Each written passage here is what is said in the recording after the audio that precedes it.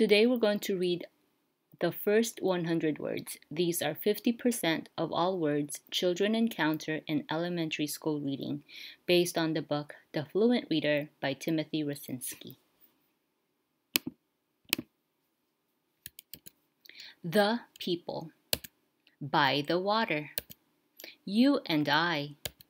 He called me. What did they say? No way. One or two? more than the other. How many words? This is a good day. Sit down. But not me. Not now. From my room. Will you be good? Then we will go. An angry cat. Write your name. That dog is big two of us. The first word. I like him. Out of the water. We were here. Could you go into the water? Take a quick break. Press pause. And then come back and press play to read the rest of the words. Look for some people. So there you are. A long time. Have you seen it? One more time. All day long. It's about time. Up in the air. Which way? He has it. If we were older. It's no use. With his mom, as big as the first. When will we go?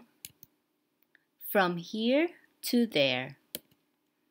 More people. Go down. Did you like it? When did they go? She said to go. Each of us. What are these? There was an old man. It may fall down. See the water. But not for me. Take another break. Press pause. Write it down. Who will make it? What will they do? We had their dog. When would you go? A number of people. How long are they? Come and get it. Part of the time. Can you see? Now and then, go find her. At your house. It's been a long time. Give them to me. Now is the time. May I go first? This is my cat. Get on the bus. Did you see it? How did they get it? Number two. Look up all or some. A long way to go. For some of your people, the other people.